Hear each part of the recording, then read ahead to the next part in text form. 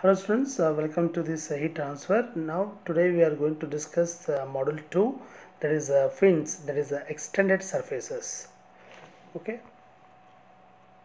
So extended surfaces is nothing but a solid that experience energy transfer by conduction within its boundaries as well as energy transfer by convection and or radiation between its boundaries and the surrounding.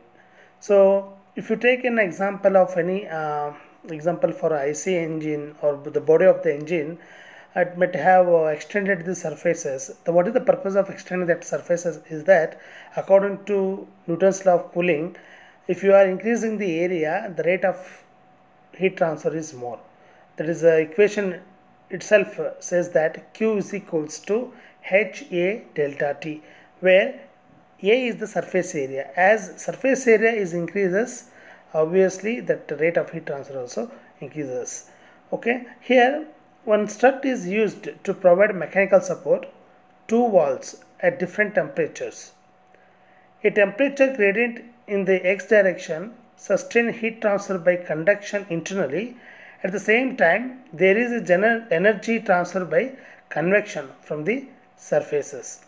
Okay, you can observe the uh, temperature profile here. T1 and T2 are uh, profile you can see. Okay, and uh, here T1 temperature at the base and this the extended surface as T2. It is exposed to the atmosphere, and uh, here the convective heat transfer is taking place okay so and also air uh, heat transfer coefficient h is also given most of the frequent applications is one in which an extended surface is used specifically to enhance the heat transfer rate between solid and adjoining the fluid called as fin. Okay so if you consider one uh, plane wall okay uh, having a base temperature surface temperature Ts and area A and uh, heat transfer rate that is HA into Ts minus T infinity. And T infinity and TH are temperature at the ambient and heat transfer coefficient. So as I said it is according to Newton's law of cooling the convection heat transfer is equals to HA Ts minus T infinity. Okay for a fixed surface uh, temperature, there are two ways to enhance the rate of heat transfer. Okay, if you want to increase the fluid velocity, the cost of the blower or pump, the power, that is the T infinity could be reduced. Okay, getting or not?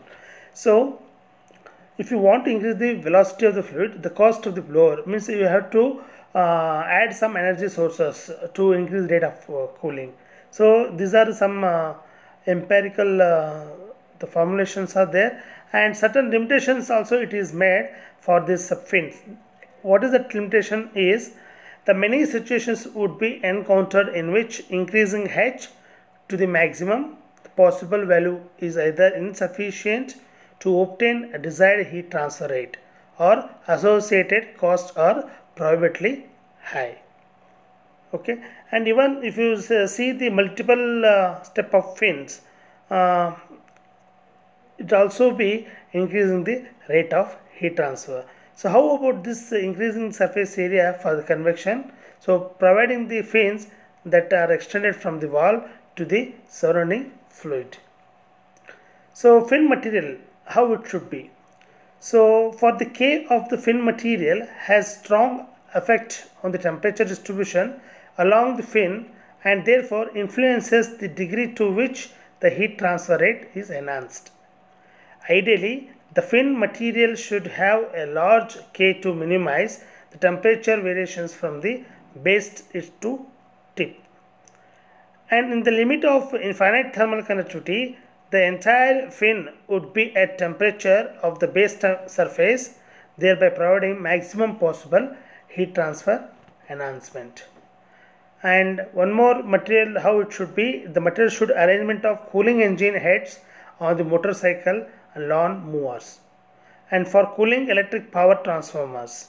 Okay you can see this uh, uh, how the applications of IC engine would be taken place. So in case of IC engines and electrical circuits electronic circuits and transformers and air conditioners okay these are all the uh, applications for the fin. Even the tubes with attached fins used to promote heat exchange between air and working fluid of an air conditioner. Okay let us discuss what are the different configuration of fins so you can see the a b c d figures are shown. The first a1 is a rectangular type of fin and second one is triangular fin. The shape of this uh, fin is triangular and next one is annular fin. And the last one is pin fin. So depending upon the applications and design requirement we are going to use this kind of fins for extended surface the direction of heat transfer from the boundaries is perpendicular to the principal direction of the heat transfer to the solid. Next how we are going to analyze the fin? So that is what uh, derivation is very important. To determine the heat transfer rate associated with the fin we must obtain the temperature distribution along the fin. So example if you consider the circular fin okay so this is an uh, one uh, example type of fin a circular fin which we have considered for uh, analysis purpose. We have taken one element for the analysis okay? That is dA area surface area and the heat is moving in one direction. We assume that unidirectional flow that is that's why qx and when it is come out to this uh, surface that it becomes qx plus dx and that uh, surface is dx uh, and uh, convective heat transfer coefficient is coefficient is um, dq and a is the area. Okay we have a certain set of assumptions while uh, getting the temperature distribution of the fin. Okay so first one is a one dimensional heat transfer that is uh, longitudinal in the direction of x. In practice the fin is uh, thin and temperature changes in the longitudinal direction are much larger than the transverse directions. And second one is steady state okay? And third one is K is constant means thermal conductivity of that material throughout the material should be same constant. And there is no heat internal heat generation. And negligible the radiation from the surface. So in this case uh, only conduction convection we are going to consider the uh, radiation of this uh, case is negligible. And the rate at which the energy is converted to the fluid from the any point on the fin surface must be balanced by the rate at which energy is reached that point due to the conduction in the transverse direction. Okay? And last one is heat transfer coefficient is uniform over a surface. So these are all some certain set of assumptions made before deriving the equations. Okay let us will derive the equation for the fin. Okay what is the heat transfer in the direction of x? That is qx plus dx plus dq convection. So there are two part uh, mode of heat transfer. One is conduction and as well as convection. By taking the energy balance equation we are writing this one. And according to conduction the newton's law uh, that is the fourier law of heat conduction we can write that qx is equal to minus ka dt by dx where dt by dx temperature gradient and a is the cross sectional area and where k is the thermal conductivity. And uh, minus n is uh, indicates that decrease in temperature. Okay direction of decrease in temperature. So this cross section area is uh, vary with the x value. So next uh, we have to calculate uh, find out what is qx plus dx. If it is the elemental uh, thing uh, that is dx element is a element so thickness so what would be the rate of heat transfer? That is qx plus dx is equal to q plus dqx divided by dx into dx. And convection heat transfer uh, convection heat transfer is h das into t minus t infinity. Here the surface area we are considered very small that is das and h is constant over the surface and t and t infinity are variable. Okay so we can further we can write this equation as d square t divided by dx square plus 1 by a dac divided by dx into minus uh, dt by dx minus of uh, 1 divided by ak into h dA by dx into t minus infinity. Okay, so now we have to find out what is the base temperature of that fin.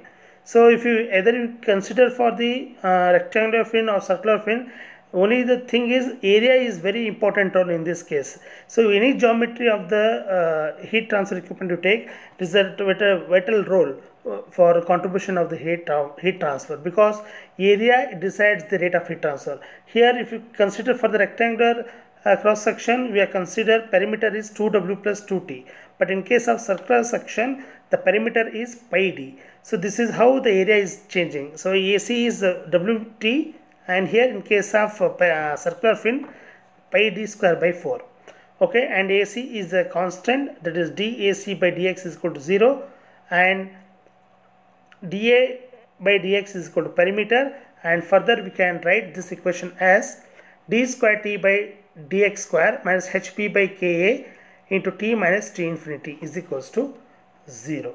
So what equation we have got that is a homogeneous second order differential equation. That is d square t by dx square minus hp by ka t minus t infinity is equal to 0 it is a non the homogeneous equation and also second order differential equation to get the solution of this for we have to substitute uh, general to get a general solution of this. So what we have to do? Substitute theta x as tx minus t infinity. Now we can write it as dtt d theta by dx is equal to dt by dx. Further we can express as d square theta by dx square minus m theta is equal m theta square is equal to m theta is equal to 0 so where m square is equal to hp by ka okay? The above equation is a linear homogeneous second order differential equation as i told with constant coefficients. So general solution of this above equation that d square theta by dx square minus m square uh, m square theta is equal to 0. For that, so this is the general uh, solution. As you have studied in the previous uh, semesters uh, in maths uh, that is uh, differential equations. So by the knowing that concept we can solve this equation and we got the general solution thus theta of x is equal to c1 into e to the power of mx plus c2 into e to the power of minus mx. So these are all uh, general solution and we have to find out the the arbitrary constant C1 and C2 by putting the boundary conditions. Okay, specified boundary condition for the base of the fin. So when it is a x is at 0 then theta of 0 is equal to tb minus t infinity.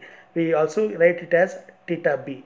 And second condition is when a pin tip we consider that is at x is equal to L then it is corresponding to the four different physical conditions that is uh, H at fin tip second one is adiabatic condition at the tip and C1 is uh, prescribed temperature maintained at the tip fin tip and fourth one is defined infinite fin means long fin.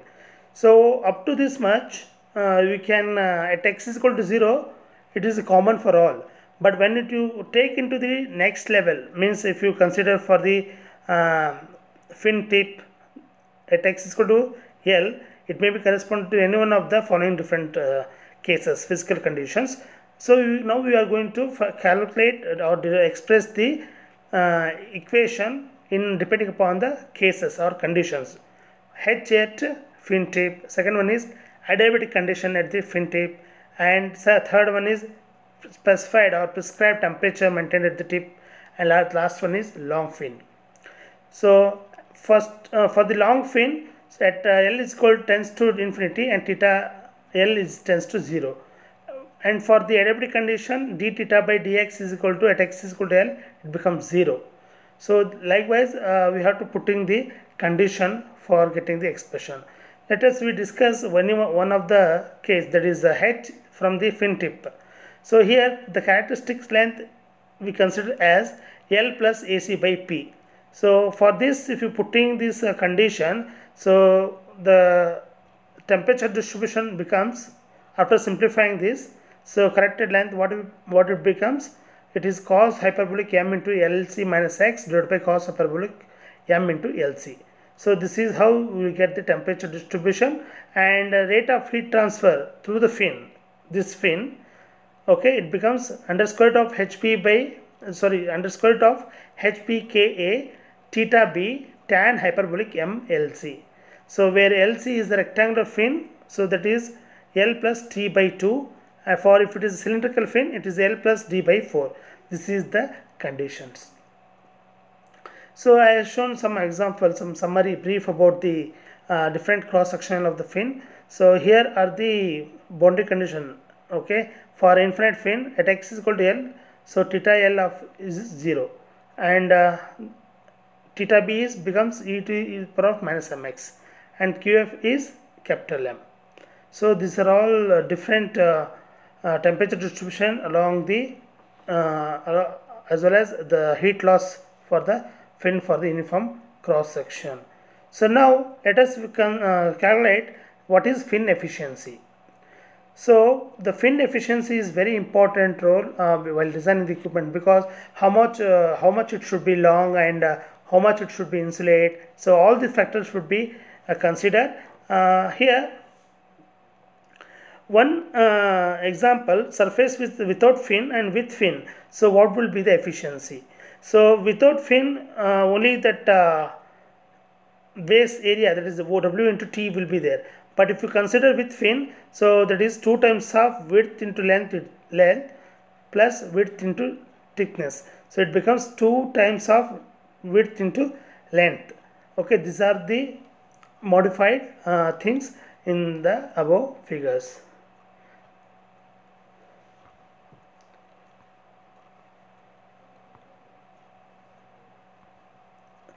So here some of the things we should know that uh, for the fin efficiency the temperature of the fin will be at TB at uh, fin base and gradually decreases towards the fin tip and second one is convection from the fin surface causes the temperature any cross section to drop the somewhat from the mid section towards outer surfaces.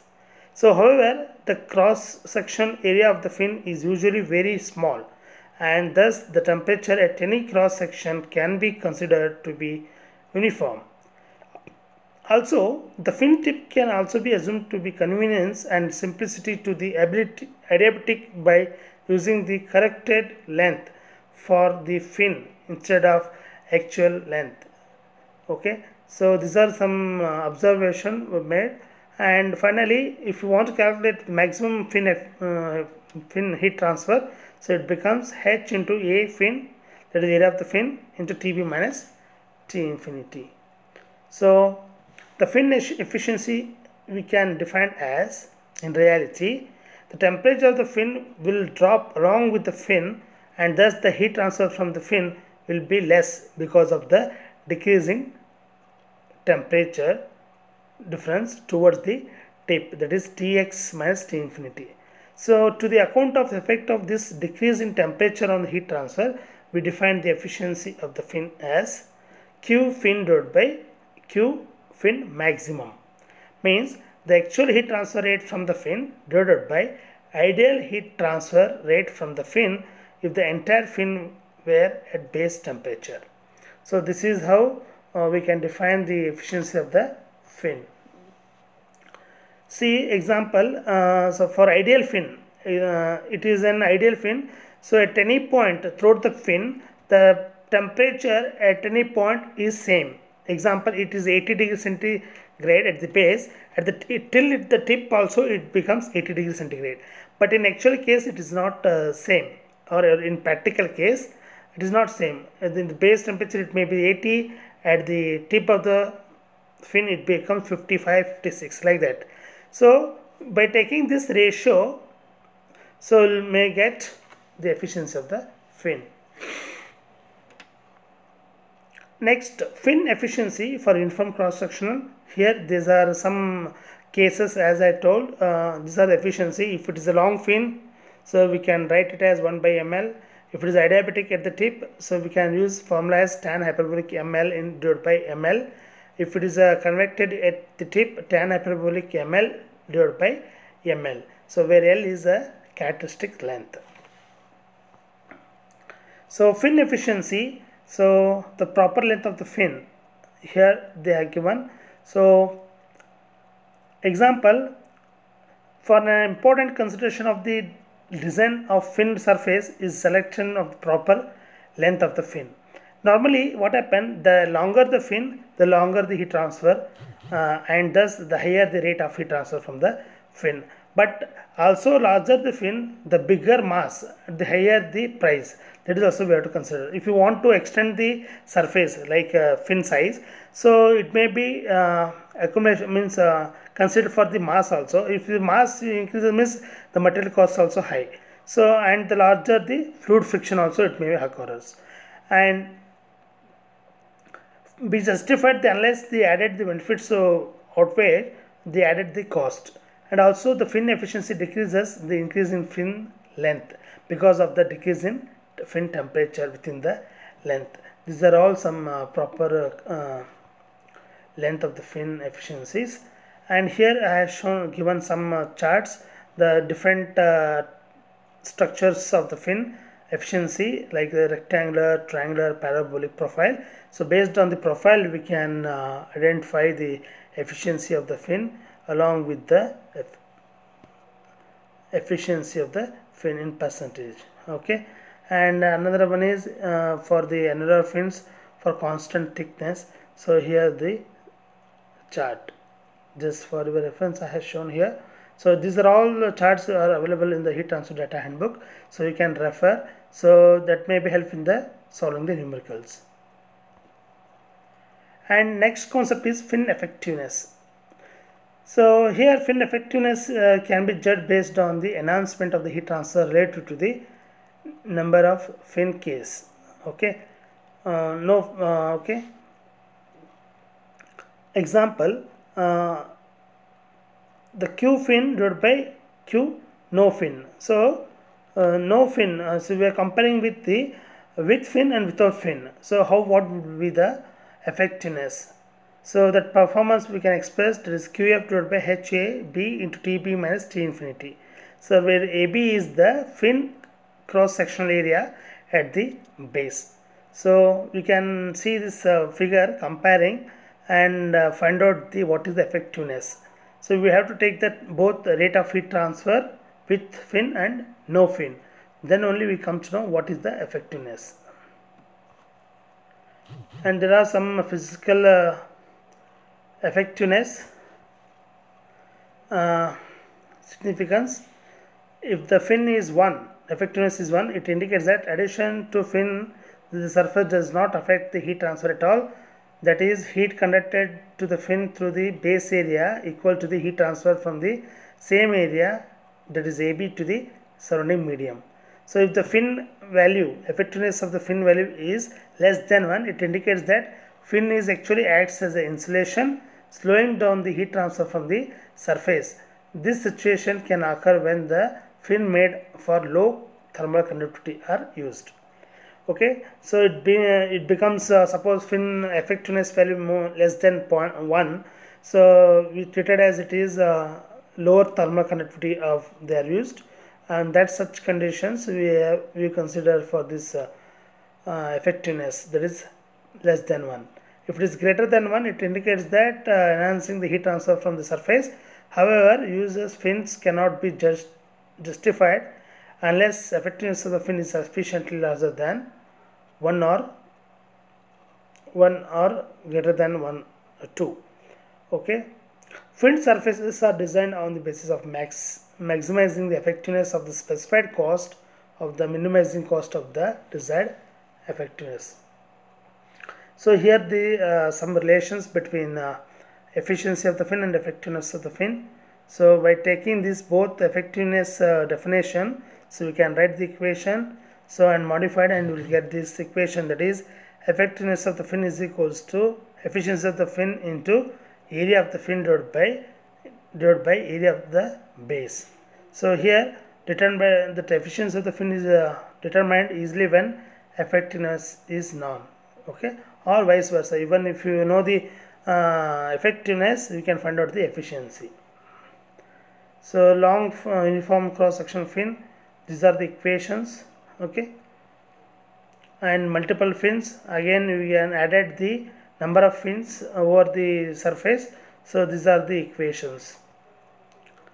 And these all equations are available in the heat transfer. But for you to understand the uh, concept I have explaining here with the figure but uh, these figures are uh, a formula and uh, expressions are available in the heat transfer data handbook. Depending upon the problem you can choose the formulas. So now the overall fin effectiveness uh, effectiveness we can consider here. There is a q fin divided by q no fin so h into area of the unknown fin plus efficiency of the fin with the area of the fin into TB minus T infinity divided by h into area of the no fin TB minus T infinity. So by considering this you can find out the overall effectiveness of the fin. So if the fin is overall depends upon the number of fins per unit length as well as the effectiveness of the individual fin and it is also better measure of the performance than effectiveness of the fin of the individual okay this is up to this much. It is related to the extended surface. Okay so thanks for watching this video and uh, next topic we'll see in the next video